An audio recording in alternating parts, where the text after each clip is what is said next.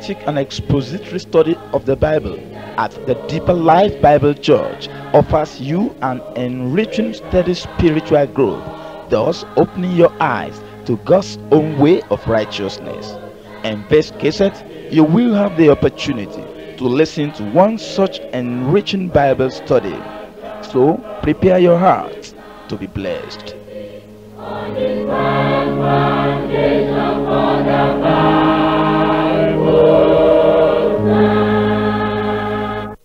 Let us pray. ẹ jẹ́ ká gbàdúrà. Almighty God, we thank you for yet another privilege, another opportunity to come in your presence, to listen to your word, to show our love to you and to worship you. ọlọ́run lódùmarè a dúpẹ́ fún àǹfààní mìíràn a dúpẹ́ fún àkókò yìí tí ẹ ràn wá lọ́wọ́ láti lè péjọ papọ̀ láti tẹ́tí sí yín kí a sì lè fi ọkàn wa ń fẹ́ jọ́sìn hàn fún yín. We thank you, Lord, for your grace you have given us. We thank you for the witness of the Spirit within us. As many of us as know you, the witness that we are your own children that were born again. a dúpẹ́ lọ́wọ́ yín fún ọkàn tí ẹ fi fún wa a dúpẹ́ fún ẹ̀rí tí ẹ fi sí inú wa tí ẹ̀mí yín bá ẹ̀mí wa jẹ́rìí pé a ti di ẹni ìgbàlà a sì jẹ́ ọmọ yín. We pray, O Lord, that the real evidence of being your children will manifest in our life from day to day in Jesus' name.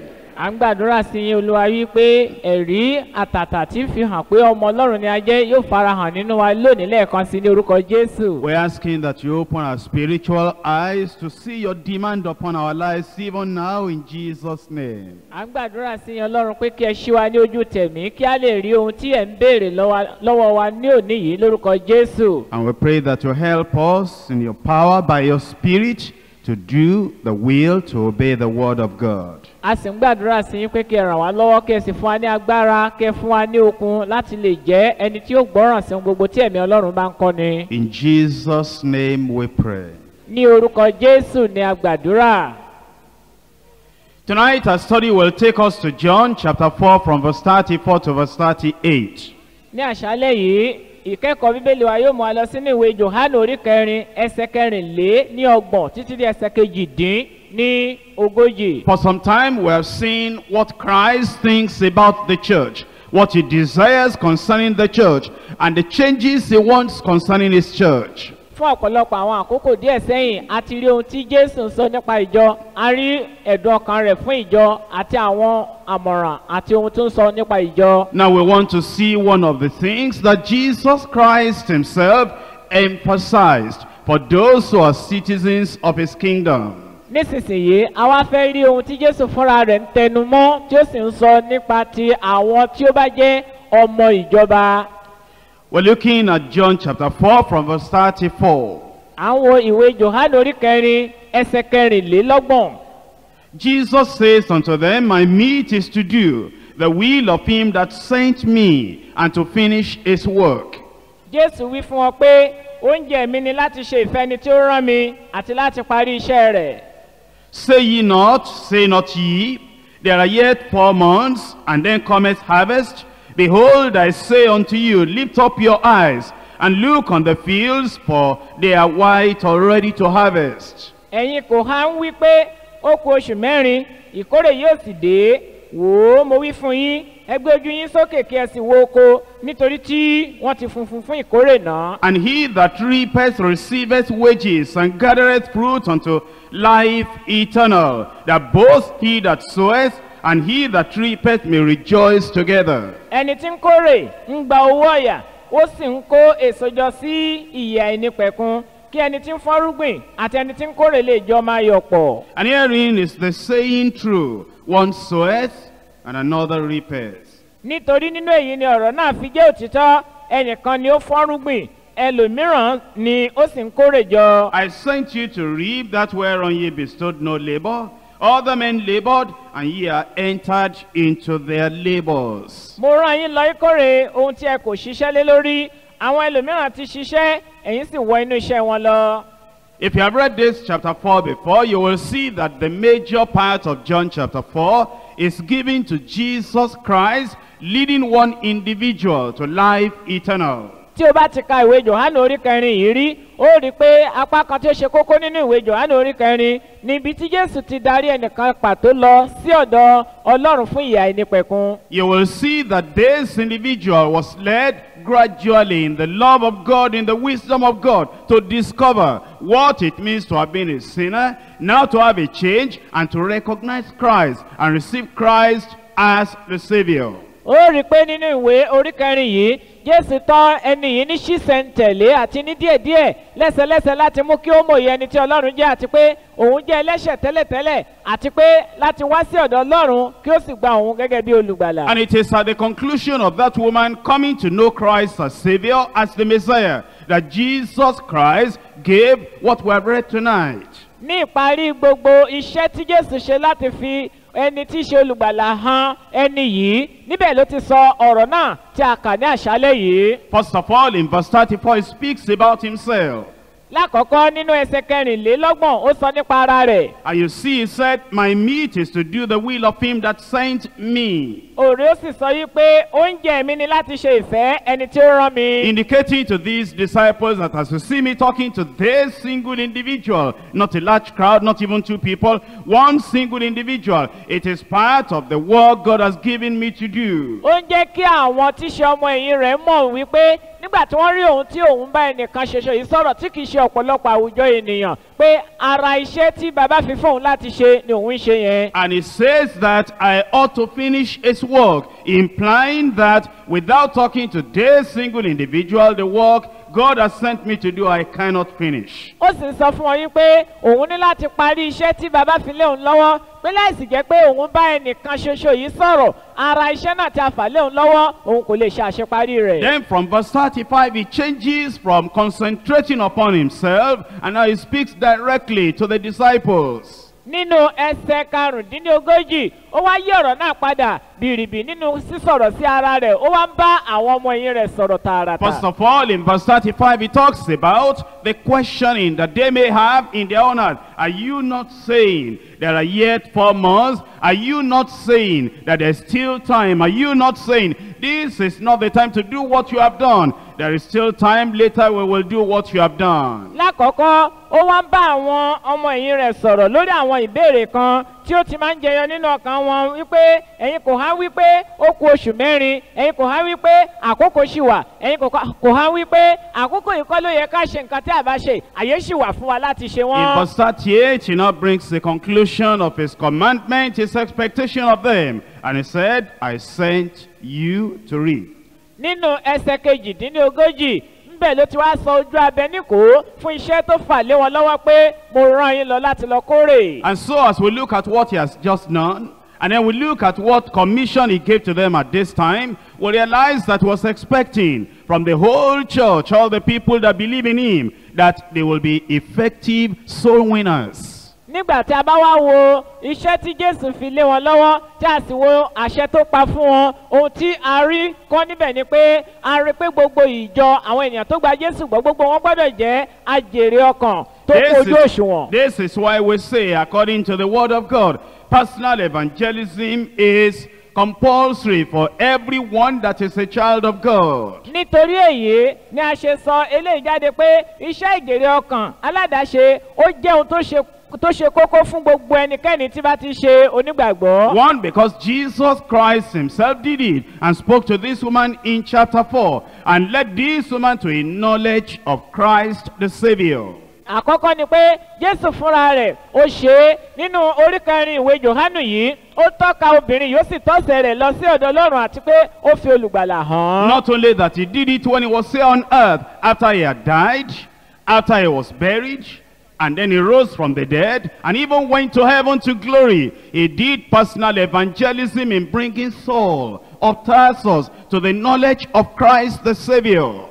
Kì í ṣe pé nígbà tó wà nínú ayé yìí nìkan ni olùgbàlà ṣe iṣẹ́ yìí ṣùgbọ́n lẹ́yìn ikú rẹ̀ lẹ́yìn àjíǹde rẹ̀ lẹ́yìn tó ti gòkè lọ sí ọ̀run ní inú ògo rẹ̀ ó tún ṣe iṣẹ́ ìránṣẹ́ aládàáṣe yìí nítorí ó mú sọ́ọ̀lù ará tásọ̀ wá sí ọ̀dọ̀ ara rẹ̀. Not only that, he has commanded his own disciples that as you have seen me do, so you should do as well. kì í sì wá ṣe léyìí nìkan ó ti pàṣẹ fún àwọn ọmọlẹ́yìn rẹ̀ yìí pé bí ẹ̀yin ti rí tí mò ń ṣe ẹ̀yin náà ẹ ṣe bẹ́ẹ̀ In gẹ́gẹ́. this passage you have read, it said there must be no delay. Do not say, there are yet four months, and then comes the harvesting of souls into the kingdom. Now is the time. nínú torí náà nínú ẹsẹ tí a kà jáde yìí ó sọ fún ọ wípé ẹ má ṣe sọ wípé sì kú àkókò kan o kò tí ì tó àsìkò ló yẹ- ká ṣiṣẹ́ ìyèrè ọkàn pé àkókò yìí gan ló yẹ ká ṣe. Personal evangelism is the person-to-person sharing of the message of Christ with the aim of leading the sinner, one individual sinner to repent and wholeheartedly believe in Christ the Savior.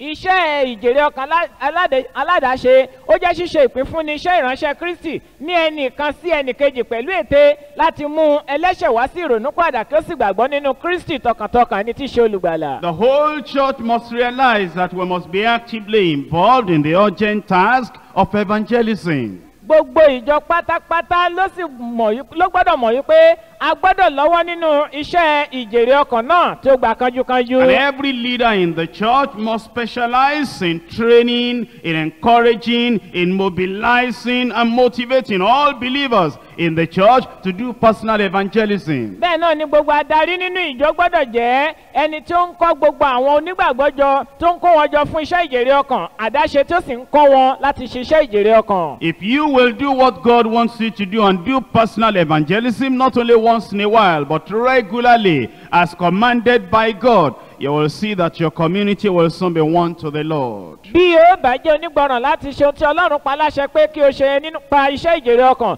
kì í ṣe lẹ́ẹ̀kọ̀ọ̀kan ṣùgbọ́n nígbà gbogbo tí o sì ń ṣe gẹ́gẹ́ bí ọlọ́run ti pàṣẹ ó rí wípé gbogbo àwọn àgbègbè rẹ ó jèrè wọn fún olúwa. But there's no doubt that many of us here already realize that we're to evangelize. láì ṣe àní-àní gbogbo àwa tó wà ní ìlàmọ̀ wípé a gbọ́dọ̀ ṣiṣẹ́ ìjèrè ọkàn But sometimes the question is, how do we evangelize effectively? Ṣùgbọ́n nígbà mìíràn ìbéèrè tí ó máa ń wá síwájú wa ni pé báwo la ó ṣe lè ṣe iṣẹ́ náà ní ọ̀nà tó múnádóko. Because as we see the example of Jesus Christ, in every case that he dealt with individuals, he evangelized, he did it very effectively.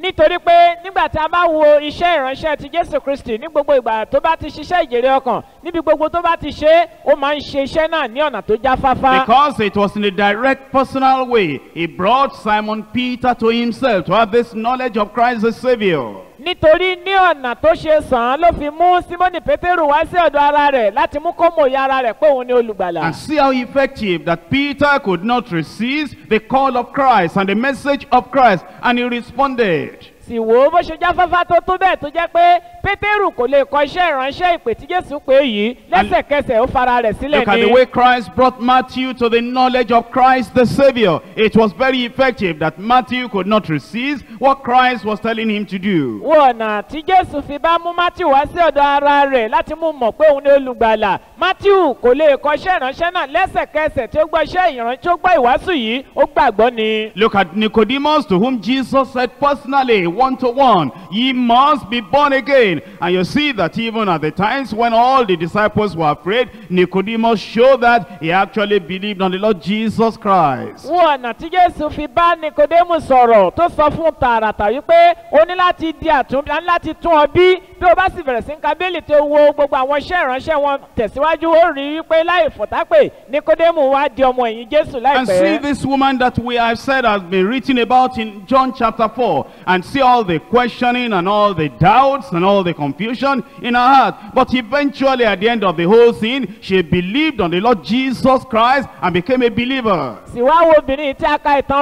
Nínú ìwé johannu orí kẹrin yìí pẹ̀lú gbogbo ìpòrúurú tí ó wà lọ́kàn rẹ̀ àti ìbéèrè tí ó ń béèrè ṣùgbọ́n ó rí i pé nígbà ó ṣe ó di ó fàyè rẹ̀ fún jésù ó sì di onígbàgbọ́. I've told you about Saul of Tarsus on the way to Damascus and Christ just confronted him even though it was not physical now and he couldn't see Jesus Christ in the flesh but all the same this man so came to the Lord he was thoroughly genuinely born again by the time he got to Damascus Ananias said brother Saul already had been born again. Mo sì sọ fún wa nípa ti sọ́ọ̀lù ara tásù níbi tó ti ń lọ sí damasku a rí i pé ní àkókò yìí jésù tún bá a sọ̀rọ̀ bó tilẹ̀ jẹ́ pé kì í ṣe ní ojúkojú bí ìgbà tí àkọ́kọ́ ó wà lọ́rùn ní ìgbà náà. Ṣùgbọ́n síbẹ̀síbẹ̀ iṣẹ́ ìránṣẹ́ rẹ̀ sí ìwàásù ìrere fún sọ́ọ̀lù ó ṣe sàn án sọ́ọ̀lù sì di ẹni ìgbàlà nígbà tí ó sì dé ibi tó ń lọ ananaya sì tọ́ wá ó sì wí pé arákùnrin saul ó ti di àtúnbí. So remember, Jesus Christ was always effective on one-to-one, bringing the gospel to them, bringing the message to them, and making them to own him as Christ, as Lord, as Savior. ó rí i wípé nínú iṣẹ́ ìwàásù jésù jésù kún ojú òṣùwọ̀n ó sì jáfáfá láti wàásù fún ẹnìkọ̀ọ̀kan láti bá wọn sọ̀rọ̀ láti mú wọn wá sí ọ̀dọ̀ ara rẹ̀ pé òun ni olúwa àti olùgbàlà wọ́n sì ń gbàgbọ́ bí ó ti ń sọ̀rọ̀ náà fún wọn. But we do it, and yet the people we'll talk to, not many of them come.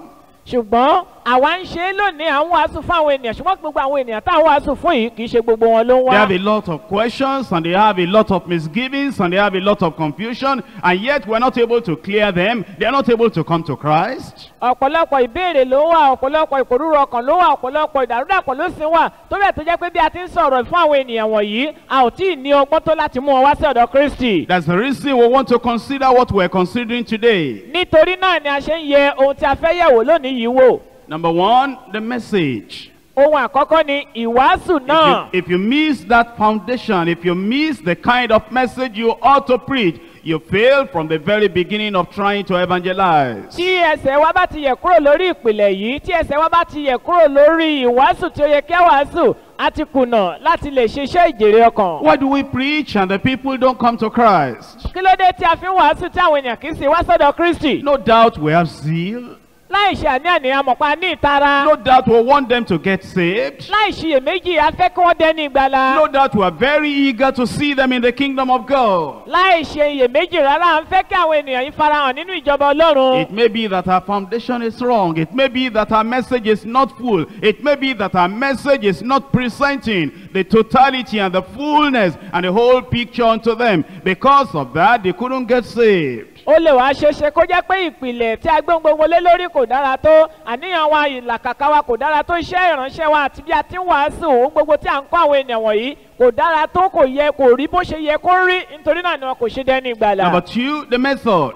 Èkejì ni ìlànà náà. Our message may even be correct. ìwàásù wa ó lè ó lè bọ́ sójú ẹ̀. Our message may be scriptural. ìwàásù tí a wàásù ó lè bá ìwé mímọ́ mu. Our message may be full and complete. ìwàásù tí a fi fún àwọn ènìyàn lè kún rẹ́rẹ́ kí ó sì dára kó pé. But our method may not be appropriate. ṣùgbọ́n ọgbọ́n tí a lò ó lè ṣàìdára tó. You see, if you look at the personal evangelistic approach and method of Jesus Christ, it becomes, you see that it's very different from one to one, from person to person. tí o bá wo iṣẹ́ ìránṣẹ́ jésù níbi tó ti ń wàásù tó sì ń jèrè ọkàn fún àwọn tó ń jèrè ọkàn àwọn ènìyàn wọ̀nyí ó rí i wípé ìwàásù rẹ̀ àti ọgbọ́n tí ó lò ní ọ̀dọ̀ ẹnìkọ̀ọ̀kan ó yàtọ̀tọ̀ fún ara wọn. See the way he approached Zacchaeus in Luke chapter 19. wo ọ̀nà tó fi bá sákìú sọ̀rọ̀ nínú ìwé lùkù orí kọkàndínlógún. See the different method he had for Nicodemus. wo ọgbọ́n mìíràn tó lò fún nikodemu. See the approach and the method for Simon Peter in Luke chapter 5. wo bí ó ṣe bá simoni pétérù sọ̀rọ̀ nínú ìwé lùkù orí karùn-ún. And see the approach to Nathanael in John chapter 1. wo bí ó ṣe bá nathaniel sọ̀rọ̀ nínú johannu orí kìíní. See the approach to this woman that he met by the well.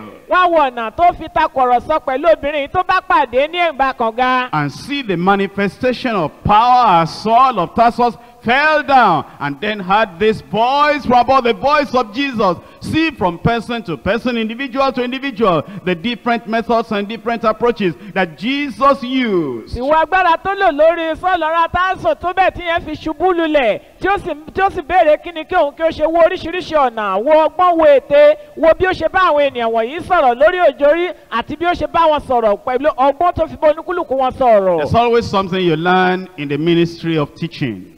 Ohun kan wà tó jẹ́ pé ó ṣe pàtàkì láti kọ́ nínú iṣẹ́ ìránṣẹ́ ìkọ́ni. Different subjects are, di- are taught in different ways. àwọn ẹ̀kọ́ tí a fi sí iwájú wa láti kọ́ni a máa ń kọ́ni ní oríṣiríṣi ọ̀nà. The method of teaching geography is different from the method of teaching mathematics. ọgbọ́n tí a fi ń kọ́ni ní ètò àwòrán gbogbo àgbáyé ó yàtọ̀ fún ọgbọ́n tí a fi ń kọ́ni ní ètò ìṣirò. Not only that, the methods change as the audience changes. Kì í sì wá ṣe léyìn nìkan àwọn ọgbọ́n tí a fi ń kọ́ni wọ̀nyí a máa yí padà bí àwọn èèyàn tí à ń kọ́ tó bá yí padà. The way you teach primary school children that have just entered and they don't know how to write, they don't know how to read, is different from the way you teach secondary school children who already know how to write and read. The, the methods are different. ọ̀nà tí a ń bá kọ́ àwọn ọmọ alákọ̀ọ́bẹ̀rẹ̀ tí wọn kò tí mọ bí a ti kọ nǹkan sílẹ̀ ó yàtọ̀ sí ọ̀nà tí à ń bá kọ́ àwọn ọmọ iléèwé girama tó ti mọ̀ bí a ti kọ̀ nǹkan ó rí i pé àwọn ọgbọ́n wọ̀nyí yàtọ̀tọ̀ fún ara So then the method of presenting the gospel to somebody, an illiterate, who cannot read, who cannot write, who has never known the basics and the details of the gospel message, that method will be different from the way you teach a person like Nicodemus, who has been a ruler among the Jews and has read the Old Testament and knows a lot of things, obviously. The methods will be different. nítorí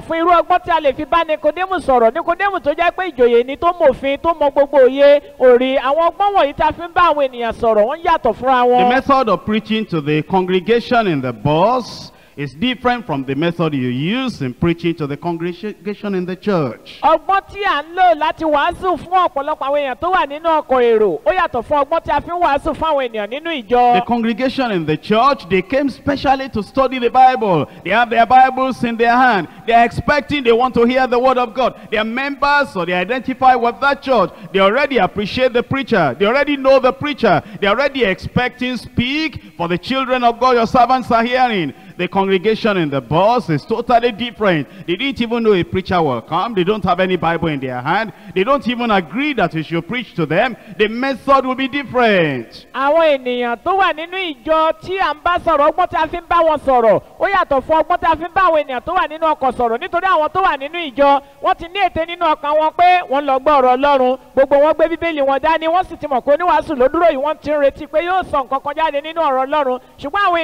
nínú ọkọ̀ èrò àwọn èèyàn wọn yóò tiẹ̀ mọ̀ pé oníwàásù ń bọ̀ tẹ́lẹ̀ kò sí bíbélì lọ́wọ́ wọn nítorí náà ọgbọ́n tí a fi ń bá olúkúlùkù àwùjọ àwọn ènìyàn sọ̀rọ̀ yàtọ̀tọ̀ fúnra wọn. You see, our message may be correct, our method may be wrong. ìwàásù wa ó lè ṣe sàn ṣùgbọ́n ọgbọ́n tí a bá gbé e kalẹ̀ ó lè lòdì. Point number three is the follow-up.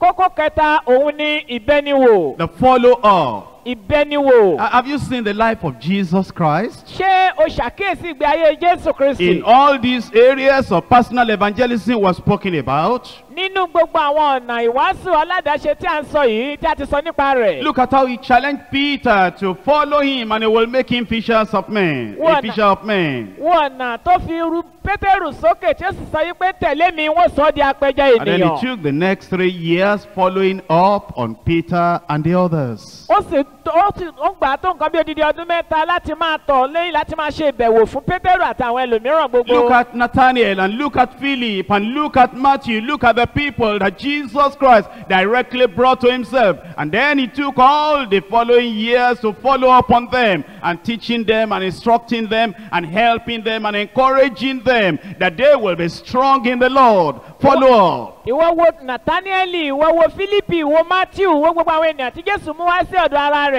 ó gbà ní ọ̀pọ̀lọpọ̀ ọdún tí ó ń bá àwọn ènìyàn wọ̀nyí rìn tí ó ń tọ́ wọn sọ́nà tí ó ń kọ́ wọn tí ó ń fòye yé wọn tí ó sì ń kọ́ wọn láti máa mòye nǹkan wọ̀nyí eléyìí là ń pè ní ìbẹniwò. Look at this uh, chapter 4 of John. After she, he had led this woman to know the Lord, the people in the city said, Stay with us. And then he stayed a few days more. And that is follow up on those people that have believed so that they can become strengthened in the faith that they have received. wo ẹ̀kọ́ tí a kà nínú ìwé johannu orí kẹrin yìí nígbà tí ó ti táwọn ènìyàn ti di ẹni ìgbàlà tán níbẹ̀ ni wọ́n á sọ fún jésù yìí dúró pẹ̀lú wa a sì kà á pé ó ọjọ́ díẹ̀ pẹ̀lú wọn ó dúró pẹ̀lú wọn láti kọ́ wọn láti mú wọn mòye nǹkan tó kọ́ wọn tí òye rẹ̀ sì yé wọn èyí tá à ń pè ní ìbẹniwò Look nìyí at Paul the apostle. wo paul apostoli After he had come to know the Lord. lẹ́yìn ìgbà tí ó ti wá mọ olúwa Although Ananias went to him and laid hands on him. bí ó tilẹ̀ jẹ́ pé ananaya tọ̀ ló sì gbé ọwọ́ lé e lórí But Jesus did the follow-up personally. ṣùgbọ́n jésù fúnra rẹ̀ tún ṣètò ìbẹniwò fúnra rẹ̀. That's why Paul said in Galatians that the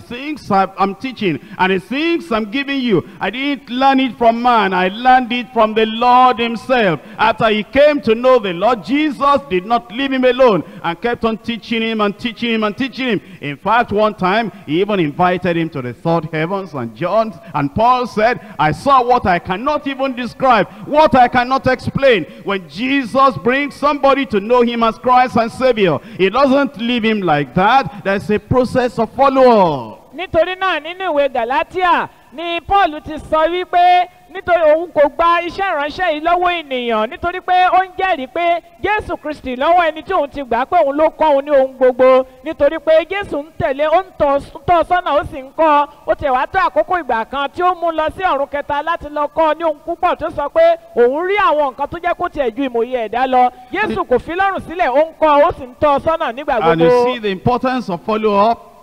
Ó sì wá rí àwọn pàtàkì ìbẹ́niwò níbẹ̀. Look at Peter and look at all the things that Peter did for the Lord. That is the result of follow-up. wo pétérù wo àwọn nǹkan tí pétérù gbé ṣe fún olúwa eléyìí ni àbájáde ìbẹniwò. And look at all those people that came to the Lord Jesus Christ who had this touch and this teaching, the instruction, the inspiration. And you will see that their lives became useful because there was follow-up on them. wo àwọn ènìyàn wọ̀nyí tí wọ́n gba olúwa láti pàṣẹ wọn wípé wọ́n gba ìtọ́ni wọ́n gba ìkọ́ni wọ́n sì gba ìmísí láti ọ̀dọ̀ àwọn ènìyàn tó ń kọ́ wọ̀nyí nítorí pé iṣẹ́ ìbẹniwò àwọn ènìyàn wọ̀nyí jáfáfá sí wọn. Look at Paul the apostle. wo paul apostoli Look at his courage. wo bí wọ́n ṣe gbà níyànjú Look at his faith. wo ìgbàgbọ́ rẹ̀ Look at his endurance. wo ìfaradà rẹ̀ Look at his zeal. wo ìtara rẹ̀ Look at his commitment to mission. wo bí ó ṣe fi ara rẹ̀ jì fún iṣẹ́ ìránṣẹ́ yìí. Look at the way he said, None of these things move me. I want to finish the ministry God has given me. wò ó bí ó ti sọ yí pé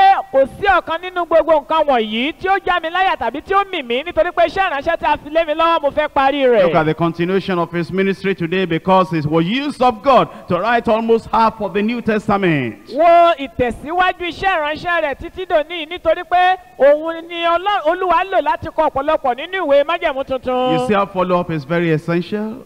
rí bí ìbẹ̀wò ṣe ṣe pàtàkì tó. Three points for us to briefly consider. Number one, the message. kókó mẹ́ta tí a ó yẹ̀wò ní kọ́kọ́ àkọ́kọ́ ìwàásù náà. Number two, the method. èkejì ni ọgbọ́n náà. Number three, the follow-up. ẹ̀kẹta sì ni ìbẹniwò. I pray that God himself will touch your heart. mo gbàdúrà pé ọlọ́run fúnra rẹ̀ yóò fọwọ́ kan ọkàn rẹ. And even though you have been trying to evangelize, but maybe you are not effective, I pray that the Lord will so touch you, so instruct you, you'll become an effective soul winner for the Lord in Jesus' name. bó tilẹ̀ jẹ́ pé o ti ń làkàkà láti ṣiṣẹ́ ìjèrè ọkàn tí o kò sì tí ì múnádóko ṣùgbọ́n mo gbàdúrà dé alẹ́ ìpè ọlọ́run fúnra rẹ̀ yóò fọwọ́ kàn ọ́ ó sì já fáfá ní orúkọ jésù. Let's look at the message ẹ jẹ́ ká wo ìwàásù náà in 1 Corinthians chapter 1, verse 23. nínú kọ̀ríntì kínní orí kínní ẹsẹ̀ kẹtàlélógún. 1 Corinthians chapter 1, verse 23. kọ́ríntì kínní orí kínní ẹsẹ̀ kẹtàlélógún. But we preach Christ crucified, unto the Jews a stumbling block, and unto the Greeks a unto the Greeks foolishness. ṣùgbọ́n àwa wàásù kristi tí a kàn mọ́ àgbélébùú ìkọ̀sẹ̀ fún àwọn júù àti wèrè fún àwọn hélènì. Now it says we preach Christ crucified. Ó wí pé à ń wàásù jésù tí a kàn mọ́ àgbélébùú. It says even if the audience is a Jewish audience who have made Jesus Christ to them a stumbling block, we still preach Christ to them. Ó ní bí àwọn júù bí wọ́n tilẹ̀ sọ jésù tó jẹ́ ìkọ̀sẹ̀ fún àwọn bí jésù tilẹ̀ jẹ́ ìkọ̀sẹ̀ fún wọn ní tiwọn síbẹ̀síbẹ̀ a sì ń wàásù kristi. He said, even though the, the, the Greek people are philosophical people and the preaching of Christ to them may be foolishness, yet we know the only message to preach to them is still Christ. ó ní bí àwọn hélènì tilẹ̀ jẹ́ ọlọ́gbọ́n orí tó bẹ́ẹ̀ tó jẹ́ pé ìwàásù ti kristi jésù yìí lè jẹ́ òpè ó lè jẹ́ wèrè sí wọn síbẹ̀ à ń wàásù kristi. I'm sure you want to be effective as a soul winner, as an evangelist, as a preacher of the gospel. mo sì mọ̀ wípé ìwọ pẹ̀lú fẹ́ jáfáfá nínú iṣẹ́ ìjèrè ọkàn gẹ́gẹ́ bí àjèrè ọkàn àti gẹ́gẹ́ bí evangelist. Many times, as you look at the congregation you want to preach to, as you look at the individual you want to preach to, and you feel that they may not accept this, they may not accept this, you deviate. Instead of keeping to the message, we preach Christ crucified. ní ọ̀pọ̀lọpọ̀ ìgbà nígbà tó bá wo ẹni tó fẹ́ bá sọ̀rọ̀ tàbí tó bá wo àwọn ènìyàn tó fẹ́ bá sọ̀rọ̀ á wá dàbí ẹni pé wọn ò ní gba nǹkan tó fẹ́ sọ nípa báyìí wàá yẹ̀bá kúrò lórí ohun tó fẹ́ sọ wàá wá sọ nǹkan mi ṣùgbọ́n ohun tí a kà níyì ni pé à ń wàásù kristi. This is showing us that the message is always Christ. èyí wá ń fi hàn fún wa pé ìwàásù náà nígbà gbogbo kristi ni. That's the message of the Father. èyí ni ìwàásù láti ọ̀dọ̀ bàbá. That is the testimony of the Spirit. èyí ni ẹ̀rí tí ẹ̀mí mímọ́ ń That jẹ́. is the united message of the whole early church. èyí ni ohun ohun àfọwọ́sowọ́pọ̀ tí gbogbo ìjọ gbọ́dọ̀ gbámú láti ṣe. That you preach Christ who was crucified for our sins. pé kí á wàásù kristi ẹni tí a kàn mọ́ àgbélébù fún ẹ̀ṣẹ̀ wa. We preach Christ crucified. wọ́n wàásù kristi tí a kàn mọ́ àgbélébù. Not just the good life of Jesus. Kì í ṣe yí pé wọ́n kàn ń sọ̀rọ̀ jésù lásán. Not just that he lived a good life, a holy life, a perfect life, a merciful life, all that is good, but his crucifixion is what is important for the removal of our sins. kì í ṣe pé wọ́n ń sọ ìwà rere jésù gbé ayé rere jésù ohun rere rere gbogbo tí jésù ṣe ṣùgbọ́n wọ́n ń sọ nípa kíkàn mọ́ àgbélébù tán kan mọ́ jésù mọ́ àgbélébù nítorí ẹ̀ṣẹ̀ wa. Not only that Jesus Christ is such a mighty one, he can give us bread if we're hungry, he can give us water if we're thirsty, if he can give us clothes if we're naked. We preach Christ crucified, the crucifixion of Jesus Christ to take away our sin. kì í ṣe pé wọn kò mọ̀ pé jésù jẹ́ alágbára pé ó lè. It is not that you just preach Christ giving bread or giving clothes or giving anything, but Christ crucified to take away our sin. wọn kò nípa pé jésù ń fúnni lákàrà ó ń fúnni lóúnjẹ ó ń fúnni ní ohun gbogbo tí a bá ṣe aláìní ó ń fúnni ní aṣọ ṣùgbọ́n wọ́n ń wípé a kan jésù mọ́ àgbélébù nítorí ẹ̀ṣẹ̀ wa. It is not only that we are just preaching that you know Christ can heal the sick and Christ can deliver the oppressed, but Christ crucified because of our sins, he went to the cross and died to become our substitute. We preach Christ crucified. kì í ṣe pé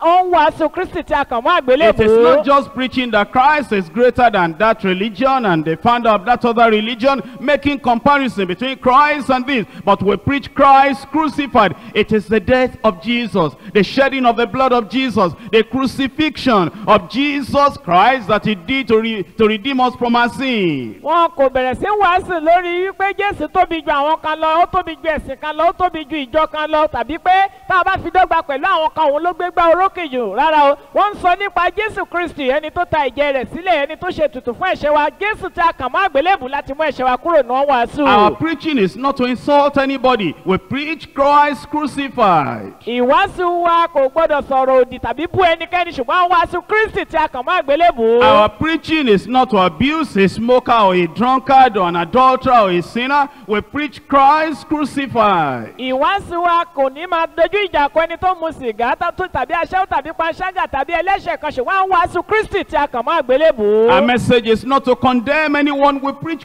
Christ crucified. ìwàásù wa kì í ṣe láti dá ẹnikẹ́ni lẹ́jọ́ ṣùgbọ́n wàásù kristi tí a kàn mọ́ àgbélébù. Our message is to convince people that no matter even how they try to live righteous on their own, they cannot. Only Christ crucified can make them to live a righteous life. ìwàásù wa ní láti látara láti pe ọkàn àwọn ènìyàn níjà àti láti mú wọn mòye kí òye yé wọn yí pé bí wọ́n tilẹ̀ jẹ́ ẹlẹ́ṣẹ̀ tó ti yàgò tó ti rìn jìnnà sí ọlọ́run tẹ́lẹ̀tẹ́lẹ̀ nígbà bá wàásù kristi fún ọ kristi lè sọ ìgbésí ayé ẹ̀ṣẹ̀ wọn di ìgbésí ayé rere. It is to convince them of their neglect of Christ, of rejecting Christ, of, of not believing in Christ, and to make them know that the foundation of their salvation is what they have turned against. We preach Christ crucified. Ìwàásù náà ní láti mú dá wọn lójú wípé jésù kristi lè mú ọ padà bọ̀ sípò ẹ̀ṣẹ̀ tó ti ń dá tẹ́lẹ̀ tó ti rìn jìnnà kúrò lọ́dọ̀ rẹ̀ jésù kristi nìkan ṣoṣo ló lè fún wọn ní ìdáláre ọkàn ń wàásù kristi tí a kàn mọ́ àgbélébù. We preach Christ that is the one that can transform, the one that can save, the one that can change, and the one that can convert the sinner from the error of his way and bring him to salvation. We preach Christ crucified. à ń wàásù jésù kristi ẹni tí ń dáríji ẹlẹ́ṣẹ̀ ẹni tí ń yí ayé ẹni padà ẹni tí ń yí ọkàn ẹni padà à ń wàásù kristi jésù kristi nìkan ṣoṣo ẹni tí a kàn mọ́ àgbélébù. Condemnation is still awaiting sinners who do not repent. ìdájọ́ ó ń dúró de àwọn ẹlẹ́ṣẹ̀ tó jẹ́ pé wọn kò ronúkúwàdà. Bible says that those who hate the light will be condemned eventually. bíbélì wí pé gbogbo àwọn tó kórìíra ìmọ́lẹ̀ ó jẹ́ ní ìdájọ́ ní ìkẹyìn But ọjọ́. ours is not going to, is, is not to go and condemn them. Ours is to lift up Jesus Christ, the one that is crucified, the one that has suffered for the sins of the whole whole world that if you'll believe on him, he will save you, he will change your life. And then to draw them, invite them to Christ crucified. ṣùgbọ́n kì í ṣe tiwa láti lọ ṣe ìdájọ́ wọn tàbí láti fi ẹnu àtẹ́lù wọn ṣùgbọ́n tiwa láti gbé jésù sókè kí a sì sọ pàtàkì kristi jésù pé tí wọ́n bá wá sí ọ̀dọ̀ rẹ̀ yóò gbà wọ́n là yóò yí ayé wọn padà àwọn wàásù kristi tí a kàn wọ́n àgbélébùú. Look at Acts of the Apostles chapter 10 and verse 36. wo ìṣe àwọn àpọ́stélì orí kẹwàá ẹsẹ̀ kẹrìndínlógójì. It says, The word which God sent unto the children of Israel, preaching peace by Jesus Christ, for he is Lord of all. ọ̀rọ̀ tí ọlọ́run rán sí àwọn ọmọ ìsírẹ́lì nígbà tí ó wá sàláfíà nípa jésù kristi òun ni olúwa ohun gbogbo. Preaching peace by Jesus Christ. wíwàásù àlàáfíà nípa jésù Telling kristi. people that they cannot have peace until Jesus Christ, the Prince of Peace, will flow into their lives, come into their lives, and give them peace. sísọ fún àwọn ènìyàn wípé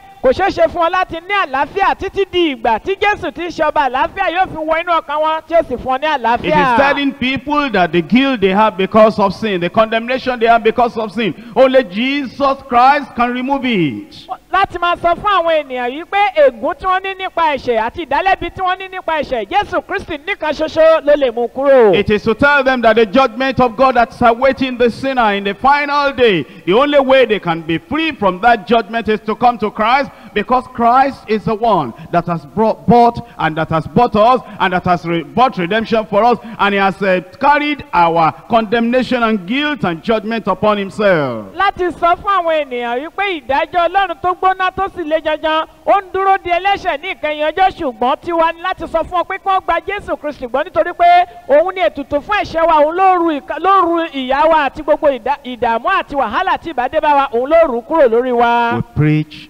Christ crucified. à ń wàásù kristi tí a kàn mọ́ àgbélébùú. And when you preach Christ crucified, you make it very clear that the people will understand. Nígbà tí a bá sì ń wàásù kristi tí a kàn mọ́ àgbélébùú á jẹ́ kí òye rẹ̀ yí àwọn ènìyàn kétékété. That they will know that they need to turn away from sin and turn to the Savior. a ó jẹ́ kí wọ́n mọ̀ dáadáa pé wọ́n gbọ́dọ̀ yí padà kúrò nínú ẹ̀ṣẹ̀ wọn kó sì yí padà sí olùgbàlà If wọn. that is not very clear to them, they will not know how to be saved. bí eléyìí kò bá hàn sí wọn kétékété wọn ò ní mọ̀ ọ̀nà láti ní ìgbàlà. Our preaching may show somebody that is a great sinner, but he doesn't know the great Savior. Ìwáṣí wa lè mú kí a jẹ́ kí ènìyàn mọ̀ pé ẹlẹ́ṣẹ̀ ńláńlá ni òun ṣùgbọ́n kò mọ olùgbàlà Our ńlá. preaching may show a personal guilty, how condemned he is, but he doesn't know how he can have peace and forgiveness and pardon and reconciliation with God through Jesus Christ. ó ṣeé ṣe kí ìwáṣí wa mú kí ènìyàn ní ìdálẹ́bi ẹ̀ṣẹ̀ rẹ̀ kó rí ara rẹ̀ ní ẹlẹ́ṣẹ̀ ṣùgbọ́n kò mọ bí ó ṣe lè rí ìdáríjì bí ó ṣe lè yí padà tó lè gba jésù ní olúwa Our tó preaching may make a person who is a smoker, a drunkard, a fornicator, an adulterer, make him so ashamed because of his sin. And then his shame will cover his eyes. He doesn't see that the blood of Jesus Christ will cleanse him from all unrighteousness. ìwáṣí wa lè mú àwọn ènìyàn tó jẹ́ ẹni- àwọn tó mu sìgá àwọn panṣágà àwọn àgbèrè kí ojú tì wọ́n tó bẹ̀ tí wọ́n fọwọ́ bojú wọn ṣùgbọ́n ìwáṣí yìí lè ṣàìmú kí ojú wọn là láti rí olùgbàlà ẹni tó lè gbà wọ́n kúrò nínú ìgbé ayé ẹ̀ṣẹ̀ wọn. It is good for them to know they are great sinners. Nítorí ó dára láti mú kí wọ́n mọ̀ pé wọ́n jẹ́ ẹlẹ́ṣẹ̀ ńlá. But they will never get saved until they know there is a there is a Christ that is greater than their sin, that will bring them out of sin into salvation. ṣùgbọ́n wọn kò lè di ẹni ìgbàlà wọn kò sì lè yí padà rárá tí a kò bá fi olùgbàlà ńlá ẹni tó lágbára láti mú wọn kúrò nínú ẹ̀ṣẹ̀ wọn. It is good for a sinner to feel ashamed because of his sins, but he will never get saved on the basis of that shame. It is good at the same time feeling shame for sin to have faith in Christ to know, even though I've spoiled my life, I've misused my life, even though I feel ashamed because of my sin, Christ, the loving one, Christ, the Savior, has died for me, and I can go to him and all my shame and guilt and condemnation will be taken away. ó dára kí ojú ti ẹlẹ́ṣẹ̀ nítorí ẹ̀ṣẹ̀ rẹ̀ kó sì mọ ìtìjú ẹ̀ṣẹ̀ rẹ̀ ṣùgbọ́n eléyìí nìkan kò tó lẹ́sẹ̀kẹsẹ̀ ó dára kó ní ìgbàgbọ́ nínú kristi jésù pé mo tilẹ̀ jẹ́ ẹlẹ́ṣẹ̀ tí ìtìjú ẹ̀ṣẹ̀ ní bò mí mọ́lẹ̀ jésù kristi yìí ti bá ní ìgbàgbọ́ nínú rẹ̀ tí mo sì gbàgbọ́ ó lè mú gbogbo ẹ̀ṣẹ̀ mi kúrò kí ó sì wẹ̀ mí mọ́ kúrò lọ́wọ́ àwọn ẹ̀ṣẹ̀ mi. In Acts of the Apostles, chapter 13, verse 38 and verse 39. àwọn àpọ́stélì orí kẹtàlá ẹsẹ̀ kejìdínlógójì àti ẹsẹ̀ Be kọkàndínlógójì. it known unto you, therefore, men and brethren, that through this man is preached unto you the forgiveness of sins. ǹjẹ́ kí ó yé yín ará pé nípasẹ̀ ọkùnrin yìí ni àwa ń wá sí ìdáríjì ẹ̀ṣẹ̀ fún yín. And by him, notice that, and by him, by Jesus Christ, all that believe are justified from all things from which he could not be justified by the law of Moses. àti nípa rẹ̀ kíyèsí gbólóhùn yìí àti nípa rẹ̀ ni à ń dá olúkúlùkù ẹni tí ó gbàgbọ́ láre kúrò nínú ohun gbogbo tí a kò lè dá yín láre nínú òfin Mósè. Let's now go to point two, the method. ẹ jẹ́ ká wá lọ sí kókó kejì ìlànà náà. And brothers and sisters, this is very, very essential. ẹ̀yin arákùnrin àti arábìnrin eléyìí sì ṣe pàtàkì See, lọ́pọ̀lọpọ̀. I've told you already that when we preach the gospel, our message may even be correct. òrí mo ti sọ fún wa yí pé a lè máa wàásù kí ìwàásù wa kó sì dúró déédéé. But sometimes, you know, our method may be wrong. ṣùgbọ́n ní ìgbà mìíràn ọgbọ́n tí a fi gbé e kalẹ̀ ó lè lòdì. And here is the place we need prayer. Ní yìí ni a sì wá ń gbàdúrà For God to give us wisdom. pé kí ọlọ́run fún wa ní òye. That as we see every individual and we want to present the gospel unto them, that God will help us to apply the right method so that everybody we approach will eventually come to Christ. pé nígbà tí a bá ń rí àwọn ènìyàn tí a sì ń fẹ́ fún wọn ní ìhìn rere ẹnikẹ́ni tí a bá ti bá sọ̀rọ̀ kí ọlọ́run ràn wá lọ́wọ́ pé nígbà bá ti bá wọn sọ̀rọ̀ nígbà tó bá yá wọ́n wá sí ọ̀dọ̀ jésù. The method of presenting something to another individual may make that individual to either accept or to reject. Ọgbọ́n tí a fi gbé nǹkan kalẹ̀ tàbí tí a fi sọ̀rọ̀ fún ẹnìkan ó ṣe pàtàkì tó bẹ́ẹ̀ tó jẹ́ pé nípa bí a ti gbé kalẹ̀ yìí ni ó mú kó lè gbà tàbí kó kọ̀ sí wa lẹ́nu. See it even in our midst as a church, as children of God. Wò láàárín ara wa tí a tiẹ̀ jẹ́ ìjọ ọlọ́run. The way you even talk to a believer, correct that believer, may make that believer to either accept or reject. ọ̀nà tí a fi ń bá onígbàgbọ́ kan sọ̀rọ̀ onígbàgbọ́ náà nígbà tá a bá bá a sọ̀rọ̀ ọ̀nà tí a fi bá a sọ̀rọ̀ ilé mú kó gbà tàbí kó kọ̀ ọ́ sí wa lẹ́nu. Look at the difficulties we even have with those who are believers when we tell them this and this and that, and they are believers, they are born again, and yet our method repels them. Our method throws them up. Our method does not allow them to even want to consider what we're saying.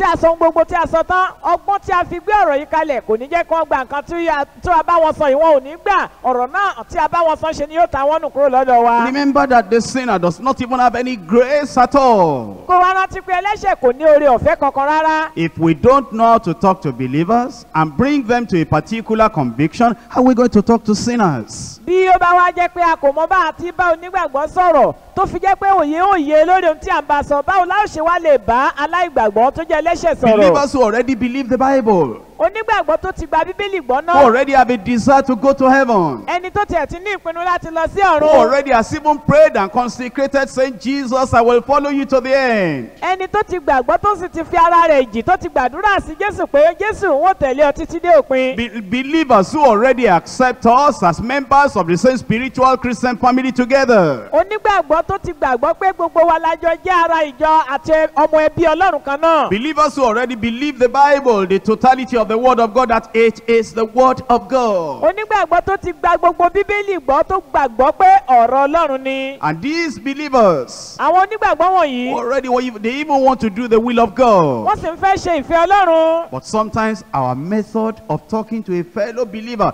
can repel that believer and make him to reject everything we're saying. nítorí nígbà náà nítorí náà gbà mí ìta bá bá onígbàgbọ́ yìí sọ̀rọ̀ ọgbọ́n tí a fi ń bá àwọn onígbàgbọ́ sọ̀rọ̀ mú kí ọkàn wọn kó ru láti lè má gba nǹkan tí a sọ kí wọ́n sì lòdì sí ohun tí a fún wọn láti tí a bá wọn If we sọ. cannot convince a believer, how can we convince an unbeliever? tí a kò bá wá lè jẹ́ kí onígbàgbọ́ ní ìdánilójú náà ọ̀rọ̀ tí a bá sọ kó òye yé báwo la ṣe mú òye yé ẹlẹ́ṣẹ̀. If we're not effective on a fellow member of the church, a fellow member of the family of God, how are we going to convince the person who doesn't even know God at all? bí a kò bá jáfáfá láti mọ̀ bá a ṣe bá onígbàgbọ́ sọ̀rọ̀ ẹni tó jẹ́ ọmọ nínú ilé ọlọ́run ẹbí ọlọ́run báwo la ṣe bá ẹni tí kì í ṣe ẹbí ọlọ́run tó jẹ́ ẹlẹ́ṣẹ̀ báwo la ṣe lè bá a sọ̀rọ̀. If we're not wise enough to convince the people that are reading Bible every day and we can point to them, look at this chapter, look at this verse, and the way we point to it, and the way we put the word against them, and the way we are very sharp, these believers, even though they love the Bible, they, they like the Bible, yet they reject. How much more when we are talking to sinners who don't even believe the Bible like these believers believe the Bible? bí a kò bá mọ bí a ṣe bá onígbàgbọ́ sọ̀rọ̀ ẹni tó ti mọ bíbélì tí ó lè jẹ́ pé a ó kàn ṣe ẹsẹ̀ ọ̀rọ̀ ọlọ́run á sọ pé wo eléyìí wo bí a ṣe sọ eléyìí wo bí a ṣe sọ eléyìí tó jẹ́ pé gbogbo ọ̀rọ̀ wọ̀nyí tí a bá bá a sọ a ò lè sọ lọ́nà tí yóò bá yé mélòó mélòó wá ni báwo la ó ṣe lè bá ẹni tí kò tí ì mọ ọ̀rọ̀ ọlọ́run tẹ́lẹ̀tẹ́lẹ̀ tó jẹ́ ẹlẹ́ṣẹ̀ báwo la ó ṣe lè bá wọn sọ̀rọ̀. I'm sure you want to serve the Lord. ó dá mi lójú pé o fẹ́ sin you're so ọlọ́run. eager that everybody you talk to will come to know the Lord. bẹ́ẹ̀ ni ìpòǹgbẹ tó sì wà lọ́kàn rẹ ni pé gbogbo ẹni tó bá bá sọ̀rọ̀ kí wọ́n mọ olúwa. That by the grace of God, you in your method and you in your message and you in your presentation will not be a stumbling block to the people you are bringing to Christ. pé nípa nípa oore ọ̀fẹ́ ọlọ́run nínú ọgbọ́n tí ó máa gbé kalẹ̀ àti òye àti ọ̀nà tó máa fi bá àwọn ènìyàn sọ̀rọ̀ kò ní jẹ́ ohun ìkọ̀sẹ̀ fún àwọn tí òun fẹ́ mú wá sí ọ̀dọ̀ kristi. Well, that's why we need to learn method from the Word of God. nítorí náà ni ó ṣe yẹ láti kọ́ ọgbọ́n nínú ọ̀rọ̀ ọlọ́run. Well, before I go to these verses of scripture on your outline, let me refer to Jesus Christ again. Kí n tó lọ sínú àwọn ẹsẹ̀ bíbélì tó wà nínú ìwé tí a fi ń kẹ́kọ̀ọ́ yìí jẹ́ kí n tún sọ nípa jésù lẹ́ẹ̀kan sí i. You see, as Jesus dealt with that woman in John chapter 4, orí bí jésù ṣe bá obìnrin yìí sọ̀rọ̀ nínú ìwé jòhánù orí kẹrin. now we could have called that woman a lot of names. obìnrin yìí ọ̀pọ̀lọpọ̀ orúkọ ni a tiẹ̀ lè pè é. Because of the history of her life, nítorí ìtàn ìgbésí ayé rẹ̀. we could have made her to feel so ashamed of herself. ó yẹ ká tilẹ̀ lè ti bá a sọ̀rọ̀ débi pé ojú yóò tí ojú ìgbésí ayé rẹ̀ yóò tì We could have made her to see the ignorance in her life. ó yẹ kí a lè mú kí ó mòye wípé aláìlóye kankan rárá ni nínú ayé rẹ̀. And we could have shown her how much of a rebel she was in even arguing with Jesus Christ. How should I give you water? Ó yẹ kí a lè fi hàn án wípé ọlọ̀tẹ̀ pátápátá ni obìnrin jẹ́ nítorí pé ó bẹ̀rẹ̀ sí í ṣe àrọ́ǹbọ̀n pẹ̀lú jésù pé báwo ni wọ́n ṣe fún ọ lómi. And a woman that has gone from one man to another man to another man has married five husbands before, and now she's with number six man. I mean, you could have called that woman any kind of name. obìnrin tí ó ti kúrò lọ́dọ̀ ọkùnrin kan tó ti lọ sọ́dọ̀ ọkùnrin mìíràn tó sì ti lọ tó bẹ́ẹ̀ gẹ́ tó ti lọ sí ọ̀dọ̀ ọkùnrin márùn-ún tó ti kúrò lọ́dọ̀ ọkùnrin márùn-ún tó wá lọ́dọ̀ ọkùnrin kẹfà ó yẹ ká lè pe ní oríṣiríṣi orúkọ. And she was still so fanatically religious, and you know, saying, We know that Jacob drank from this well, you know, talking about a lot of uh, religious history when the woman had been going from man to man. You could have called that man a lot of insultive names. síbẹ̀síbẹ̀ obìnrin náà sì tún wá jẹ́ alákatakítí ẹ̀sìn tí ó ń bẹ̀rẹ̀ sí sọ nípa Mósè pé a mọ nǹkan báyìí nípa Mósè obìnrin tó ti lọ láti ọ̀dọ̀ ọkùnrin púpọ̀ dé ọ̀dọ̀ ọkùnrin púpọ̀ tó tún wá ń sọ rẹ̀ sí báyìí ó yẹ ká lè pe obìnrin ní ọ̀pọ̀lọpọ̀ orúkọ. Not only that, do you know that at that time Jesus was hungry and thirsty, wanting to drink water? Kì í sì wá ṣe eléyìí nìkan ó yẹ kí a mọ̀ yìí pé ní àkókò ìgbà yìí ebi ń pa Jésù òrùngbẹ́ sì ń gbẹ́ ó fẹ́ mu omi And she, he wanted water from this woman to even start with. Ó sì ń fẹ́ gba omi láti ọ̀dọ̀ obìnrin yìí ní ìbẹ̀rẹ̀ ohun gbogbo. And this woman was so fanatically religious and so humanly selfish that she didn't even respond to that request at all. And yet look at the method of Jesus. Eventually, the woman left her water pot. If Jesus wanted to drink all the water there, whatever, and then went to the town, come see a man that told me everything that I ever did. Is not this the Christ? Jesus was effective. Obìnrin yìí nígbà tí jésù ń bá a sọ̀rọ̀ ó bẹ̀rẹ̀ sí ṣakatakítí tó bẹ́ẹ̀ tó jẹ́ pé ó fi kò tiẹ̀ sọ nǹkan kan nípa ohun tí jésù ń bá a sọ ṣùgbọ́n ṣe ló bẹ̀rẹ̀ sí sọ oríṣiríṣi bí ẹni pé ó mọ̀ ju jésù lọ. Ṣùgbọ́n wo ọ̀nà tí jésù fi bá obìnrin yìí sọ̀rọ̀ tó bẹ́ẹ̀ tó fi jẹ́ pé nígbà tó yá obìnrin yìí fi ládùúgbò mi rẹ̀ sílẹ̀ pé bí jésù tẹ̀lé ó wá náà jésù jẹ́ ẹni tó jáfáfá We need to pray for wisdom a ní láti gbàdúrà fún ọgbọ́n and pray for patience. kí a sì gbàdúrà fún ìmòye ọ̀rọ̀ sísọ and pray for patience. ká sì gbàdúrà fún sùúrù And then pray that we have love for the people we are talking to. kí a sì gbàdúrà pé kí ọlọ́run fún wa ní ìfẹ́ ká nífẹ̀ẹ́ pẹ̀lú àwọn tí a ń bá sọ̀rọ̀ And also pray for such self-denial and such endurance that our own hunger, our own thirst, our own need, our own lack will not becloud us, that we will not know how to deal with the people we want to bring to Christ. a ó sì gbàdúrà fún ìsẹ́ra ẹni eléyìí tó máa ń ti ọ̀dọ̀ ọlọ́run wá pé inú wa ọkàn wa èrò inú wa kò ní ga jù tó bẹ́ẹ̀ tó jẹ́ pé a ò ní ní àǹfààní àti ran àwọn ènìyàn tá à ń bá sọ̀rọ̀ yìí lọ́wọ́ kí ọlọ́run fún wa ní ẹ̀mí ìrẹ̀lẹ̀ Wisdom, ọgbọ́n patience, sùúrù love, ìfẹ́ self-denial, and endurance. ìsẹ́ra ẹni àti ìkóra àti ìfaradà. And that God will give us the right word at the right time to the right person. kí ọlọ́run sì fún wa ní àwọn ọ̀rọ̀ tí ó tọ́ ní àsìkò tó tọ́ sí ẹni náà tí ó tọ́ sí. I believe he will do it. mo gbàgbọ́ pé ọlọ́run yóò ṣe bẹ́ẹ̀. Now in Acts of the Apostles chapter 8 and verse 35. nínú ìwé iṣẹ́ àwọn àpọ́stélì orí kẹjọ ẹsẹ̀ karùndín ní ogójì. Then Philip opened his mouth and began at the same scripture and preached unto him Jesus. fílípì sì ya ẹnu rẹ̀ ó sì bẹ̀rẹ̀ láti ibi ìwé mímọ́ yìí ó sì wàásù jésù fún un. Brothers and sisters, we need to preach Jesus. ẹ̀yin arákùnrin àti arábìnrin a ní láti wàásù jésù. And we mustn't demonstrate the knowledge we have. a kò gbọ́dọ̀ máa lo ọgbọ́n tí a ní. Uh, Look at uh, Philip here talking to this eunuch of Ethiopia. Wo ní ìyìn tó ń bá ìwẹ̀fà ará ethiopia sọ̀rọ̀. And this Philip did not talk about, uh, you know, Jerusalem and the Pentecost experience that happened in Jerusalem and the history of the church. To this man, just opened his mouth from that scripture and preached unto him Jesus. fílípì ní kò bẹ̀rẹ̀ sí ńlá inú kó máa ròyìn nípa jerusalem kó sì sọ nípa pentikọ́sì ohun tó ṣẹlẹ̀ ní ọjọ́ wọn ni ṣùgbọ́n bí ó ṣe la ẹnu rẹ̀ ó ń wàásù jésù. Philip was coming from a mighty revival in Samaria and never spoke a word about that. He preached unto him Jesus. fílípì ó ń ti bi ìsọjí àgbàyanu ńláńlá kan bọ̀ láti samaria ṣùgbọ́n kò sọ nǹkan kan nípa èyí ẹnu tí ó là ó ń sọ nípa jésù. Philip was one of those seven people that were chosen in Acts of the Apostles chapter 6. And yet, this Philip never spoke about his position in the Jerusalem church, his post and privilege in the Jerusalem church. He preached unto him Jesus. fílípì jẹ́ ọ̀kan nínú àwọn méje tí a yàn nínú ìwé ìṣàwọn ṣùgbọ́n nígbà tó ń bá ọkùnrin yìí sọ̀rọ̀ kò sọ nípa ipò rẹ̀ láàárín ìjọ ṣùgbọ́n ó ń sọ nípa jésù. You know, it was uh, the Spirit of God that led Philip to come to this man in the desert. And Philip did not talk about his possession of the gift of the Spirit, his knowledge of the, of the things of the Spirit. He never talked about anything about himself. He spoke about Jesus Christ. ǹjẹ́ o mọ̀ wípé ẹ̀mí ọlọ́run ló ta fílípì pa tí ó sì gbé wá sí ọ̀dọ̀ ọkùnrin yìí ṣùgbọ́n kò fi ìgbà kan sọ nípa ẹ̀bùn tí ó ní nípa ẹ̀mí ọlọ́run kò sọ nípa ẹ̀mí ọlọ́run tí ó darí rẹ̀ ṣùgbọ́n ohun tó ń ṣe ni pé ó ń sọ nípa jésù. Just before Philip came to this man from Samaria, do you know that one hypocrite had just been identified in that mighty revival in Samaria? And then Simon Peter with John had dealt with that hypocrite. And now as Philip came to this man, he never spoke about anything that happened in Samaria, anything that happened about hypocrite, that happened about a member of, you know, one of the people that said they were believers. He only spoke about Jesus. nígbà tí wọ́n wà níbi ìsọjí ní samaria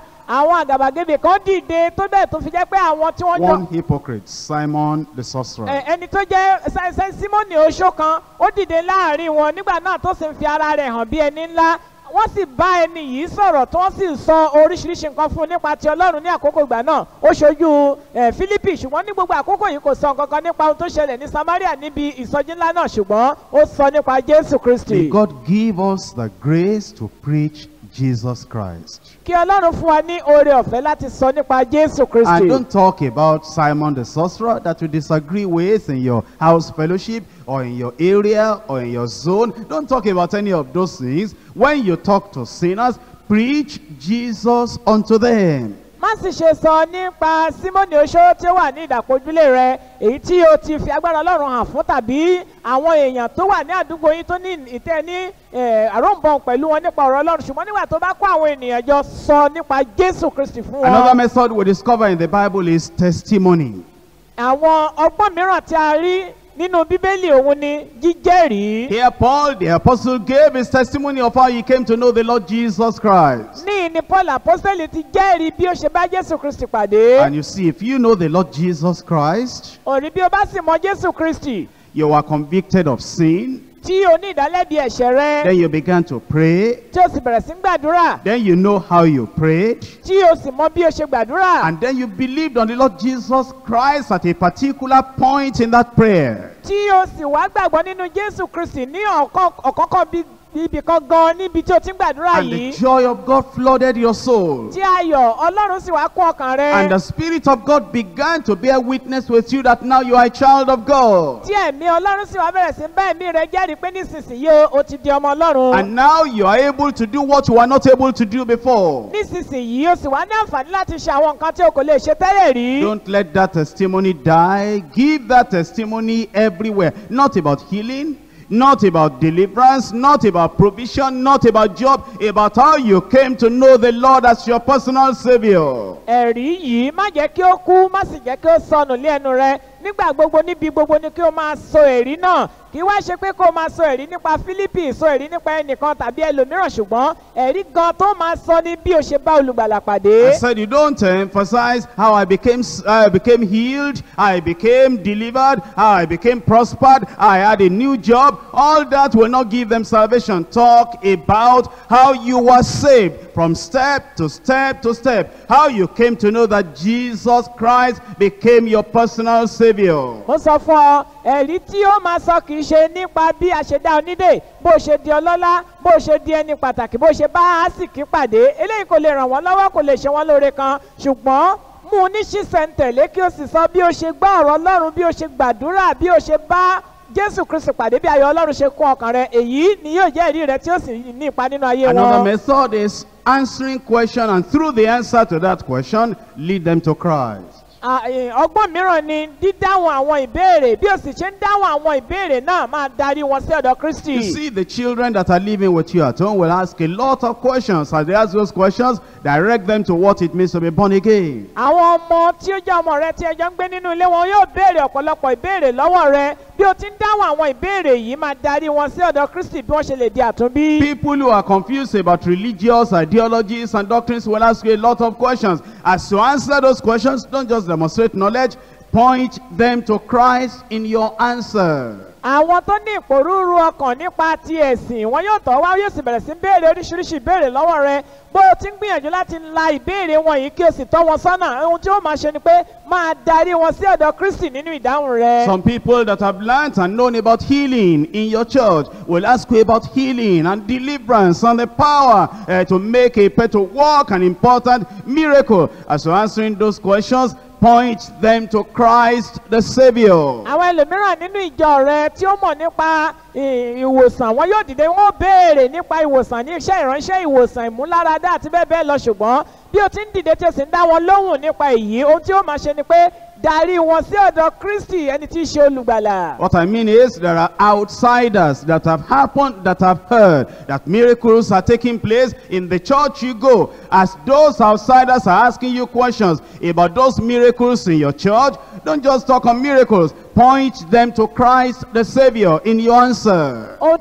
mò ń wí gan-an ni pé àwọn ènìyàn tó wà níta tó sì ti gbọ́ pé ọlọ́run ṣe iṣẹ́ ìyanu ìwòsàn ìmúláradá àti oríṣiríṣi iṣẹ́ ìyanu nínú ìjọ wọn yóò tọ́ wá láti máa wá wádìí pé kí ni ìdí abájọ ṣùgbọ́n bí o ti ń gbìyànjú láti dá wọn lóhùn má sọ nípa iṣẹ́ ìyanu àti iṣẹ́ ìmúláradá ṣùgbọ́n darí wọn sí ọ̀dọ̀ kristi gan ẹni tí í ṣe Look olùgbàlà at Acts chapter 4 wo ìṣe àwọn àpọ́stélì orí kẹrin from verse 7. láti ẹsẹ̀ keje And when they had set them in the midst, they asked, By what power and by what authority, by what name have, have you done this? nígbà tí wọ́n sì mú wọn dúró ní àárín wọ́n béèrè pé agbára tàbí orúkọ wo lè ẹ̀yin fi ṣe èyí. You see, a miracle had taken place in chapter 3. orí iṣẹ́ ìyanu kan ti ṣẹlẹ̀ nínú orí kẹta And these elders in the synagogue, they wanted to know, by what power, by what name, by what authority have you done this? àwọn àgbààgbà tó sì wà nínú sinagogu ní àkókò ìgbà náà wọ́n wá ń béèrè wọ́n fẹ́ mọ̀ wọ́n ní nípa agbára nípa àṣẹ ta ni ẹ fi ń ṣe You eléyìí see, if you must know that salvation is the most important thing. nípa èyí o wá- lè kíyèsí nsìn pé ìgbàlà òun ni ohun tó ṣe pàtàkì Look jùlọ at verse 9. wo ẹsẹ̀ If kẹsàn-án we this day be examined of the good deed done to the impotent man,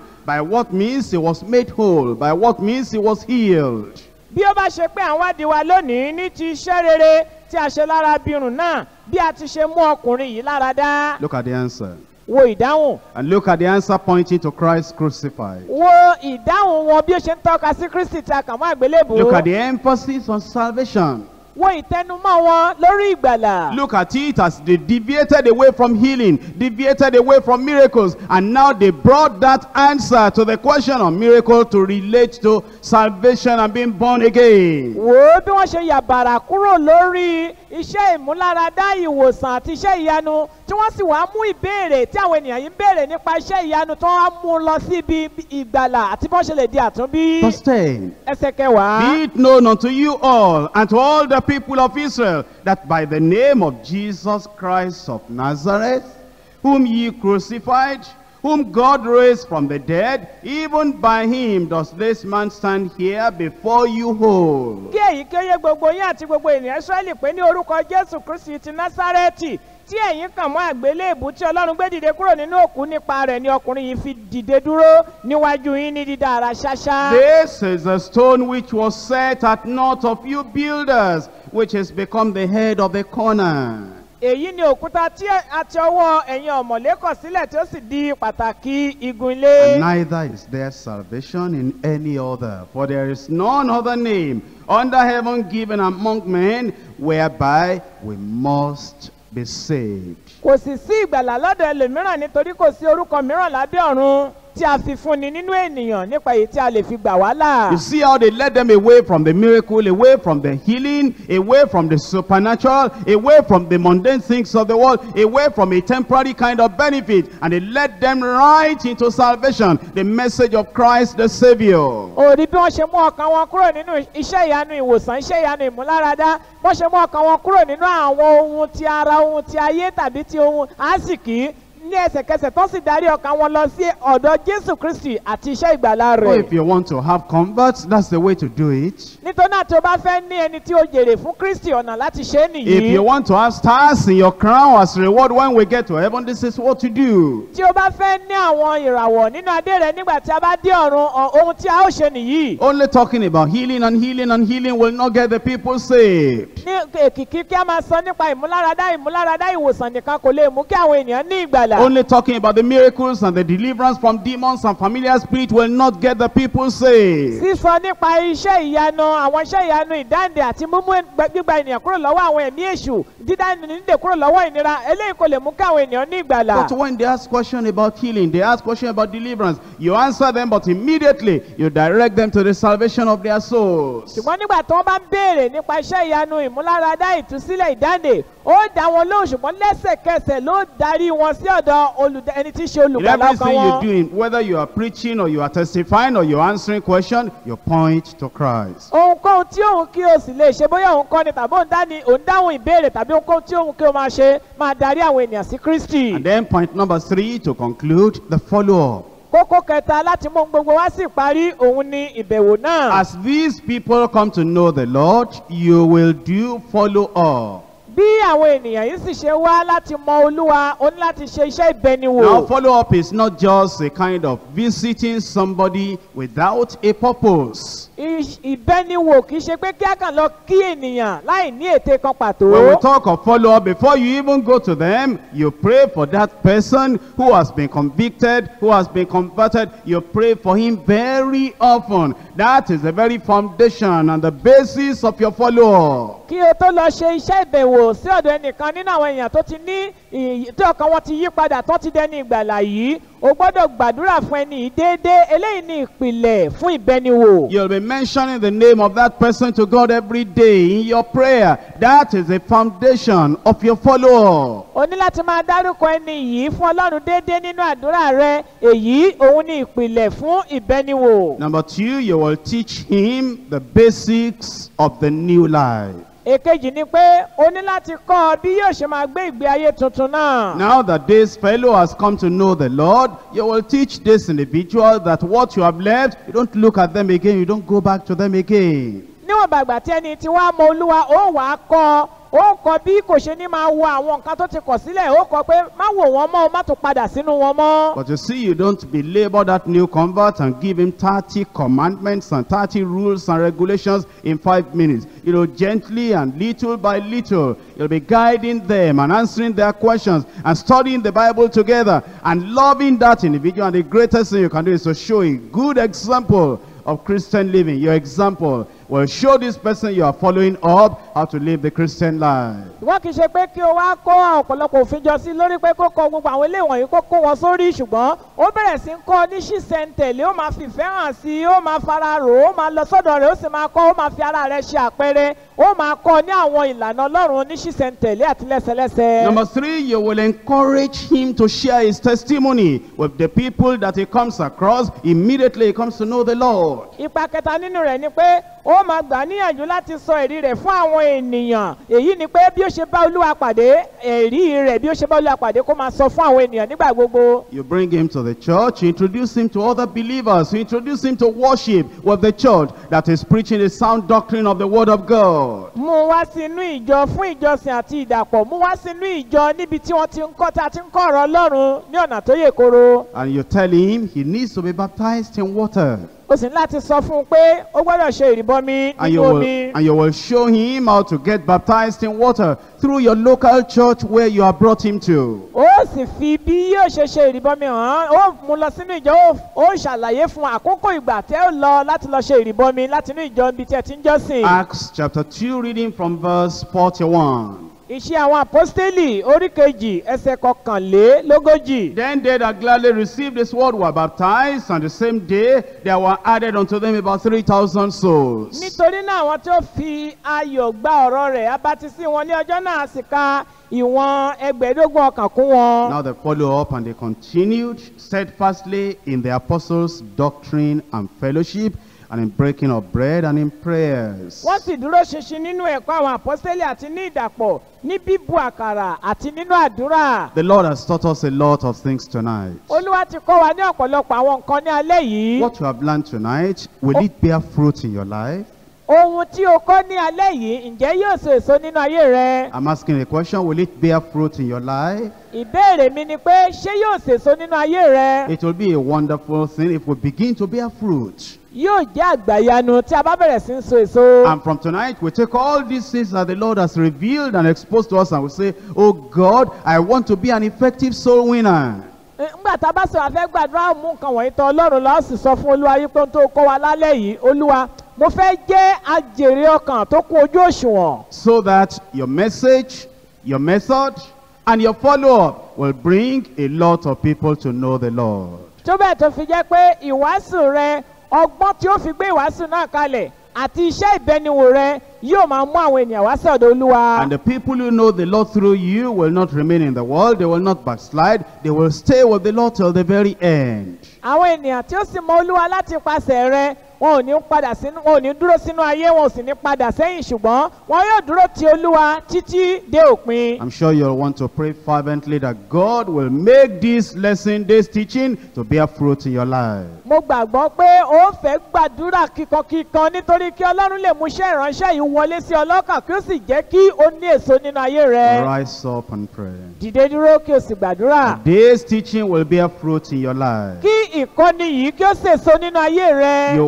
want to be an effective soul winner. o fẹ́ jẹ́ àjèrè ọkàn tí ó kún ojú òṣùwọ̀n. You want to do it like Jesus Christ. o fẹ́ ṣe é bíi ti jésù kristi fúnra rẹ̀. You want your words and your preaching to have weight in the lives of the people you are talking to. ó fẹ́ kí ọ̀rọ̀ rẹ àti ìwàásù rẹ kí ó wúwo kí ó sì lọ́rìn nínú àwọn ènìyàn tí ò ń bá sọ̀rọ̀. Are you preaching Christ crucified? ǹjẹ́ ò ń wàásù kristi tí a kàn mọ́ àgbélébùú? Are you emphasizing salvation through Christ in your preaching? ǹjẹ́ ò ń tẹnumọ́ jésù kristi àti ìgbàlá rẹ̀ nínú ìwàásù rẹ? You talk about their sin, but do you talk about a great Savior?